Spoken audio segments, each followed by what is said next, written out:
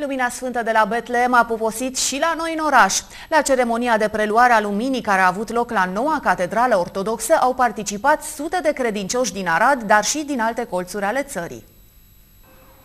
Lumina a fost luată de la Betleem chiar din locul în care s-a născut Isus Hristos și a fost adusă în Europa de o echipă de cercetași. Lumina a ajuns la catedrala din Viena, apoi a fost preluată de cercetașii României. Seara trecută, Lumina a ajuns la Arad și a fost lăsată în noua catedrală ortodoxă. Aici cercetașii au fost așteptați de un sobor de preoți, în frunte cu episcopul Aradului Ienopoli și Hunedoarei, dr. Timotei Seviciu, dar și sute de arădeni.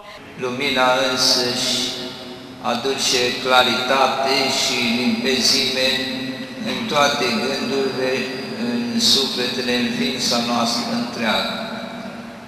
Cu atât mai mult lumina lui Hristos, care luminează tuturor.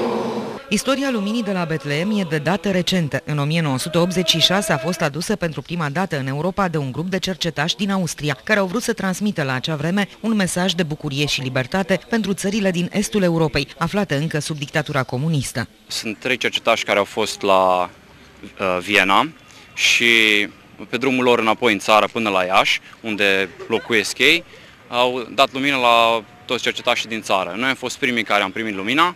La ora 4 dimineața luni, în 17 decembrie, am fost în gară și am preluat lumina. Această lumină semnifică foarte multe pentru mine, având în vedere că m-am picat foarte mult în acest proiect, să aduc lumina aici la Arad.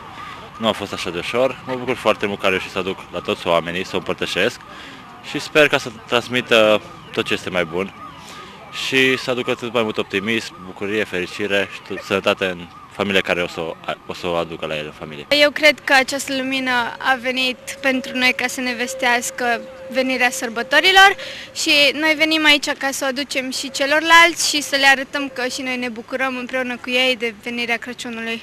Lumina va arde la Catedrala Ortodoxă din Arad până după sărbătoarea Crăciunului.